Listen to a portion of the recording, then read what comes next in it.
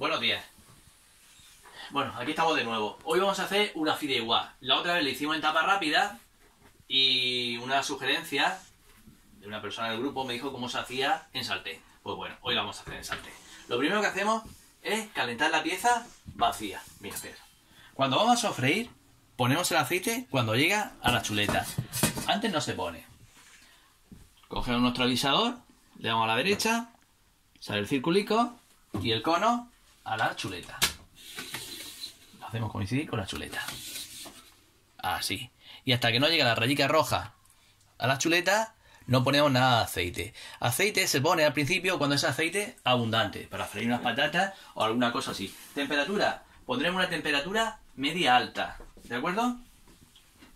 Pondremos, lo tengo en el 8, fijaros, lo voy a bajar al 7. Ahí, sería lo bueno, ¿de acuerdo? Mirad. Ha llegado la chuleta, la raya roja, ¿la veis? Quito el avisador y ahora ponemos el aceite. Ponemos un par de cucharadas de aceite. Yo creo que se mueve acá. Así. Un par de cucharaditas de aceite. Hoy la vamos a hacer con costillar. La podéis hacer con carne, con verdura, con marisco, con lo que queráis.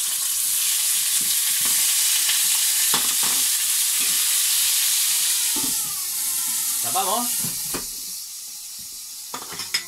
Y esperamos que la raya, fijaros, la rayica, esperamos que llegue al final. Esto es muy mecánico. Esperamos que llegue al final y aquí le daremos una vuelta. Cuando le demos la vuelta, vamos a introducir esta alcachofa y pimiento rojo. La alcachofa, si no queréis que se os ponga muy negra, eh, le ponéis un poco de limón. Sobre todo si las vais a tener, aquí como las tengo yo ya, por lo menos 5 minuticos. ¿De acuerdo? Mirad. Fijaros. Llega a 98, ¿lo veis? Y le vamos a dar una vuelta. La tapadera siempre procurar destaparla así, invertida. ¿eh? Para que no caiga el agua dentro. Bueno, en este momento vamos a hacer una vuelta y vamos a añadir la verdura.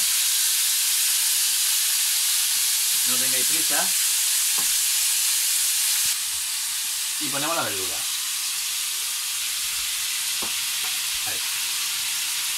Volvemos a tapar. Y cuando llegue de nuevo a los 98 grados, le daremos otra vuelta. Fijaros, llega de nuevo a 98. Quitamos la tapadera. Damos una vuelta.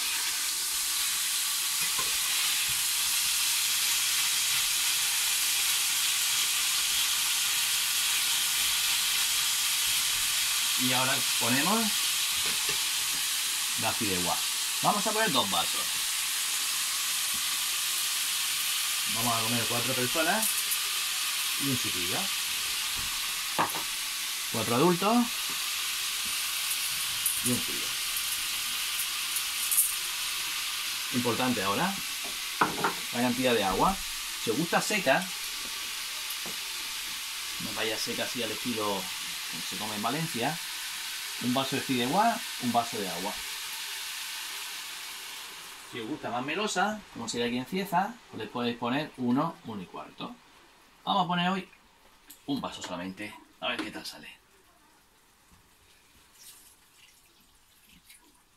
Y ahora lo salpimentamos. Esto siempre da gusto, ¿vale? Un poquitín de colorante.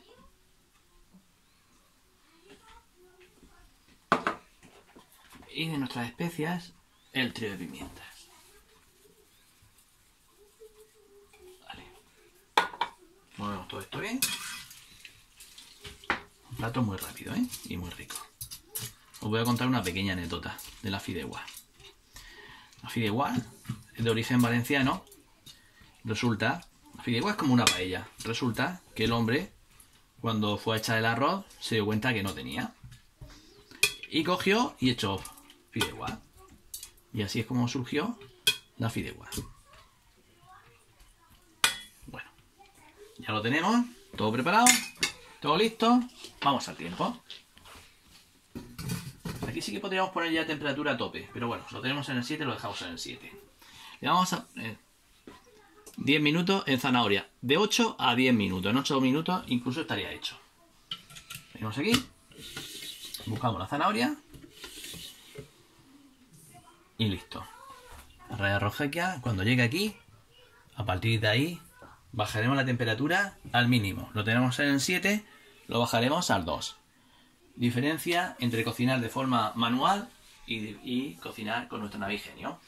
Primero, una vez que lo pongo yo aquí ya es cocina automática, no tengo que subir ni bajar temperatura.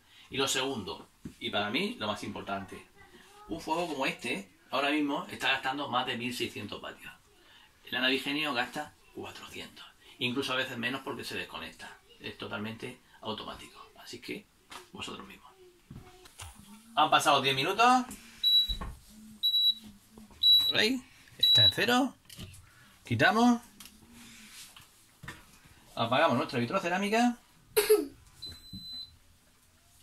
Y ahora dejamos 4 o 5 minutos de reposo. ¿De acuerdo? Vemos el resultado final. ¿Lo conseguido o no? Ah, no. Cuando tú digas. Ya. Bueno, resultado final. Vamos a ver. Mira. Cómo está hinchado. Está hecho perfectamente. ¿Lo veis? A verlo. Mira.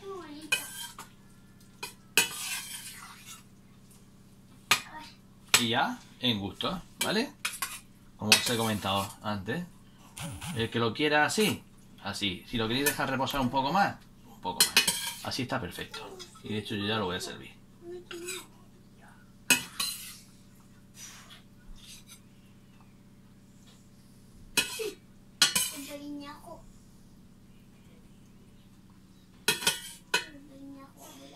Aquí lo tenemos.